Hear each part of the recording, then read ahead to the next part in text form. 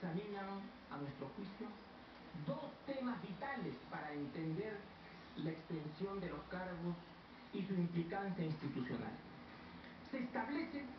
que el destacamento especial de inteligencia Polina, que tuvo una actividad electiva de 15 meses aproximadamente, cometió como mínimo unos 50 asesinatos y realizó diversas acciones que pueden ser clasificadas, calificadas, y aquí desde el entendimiento de las normas, de operaciones especiales de inteligencia. Por otro lado, una vez que salieron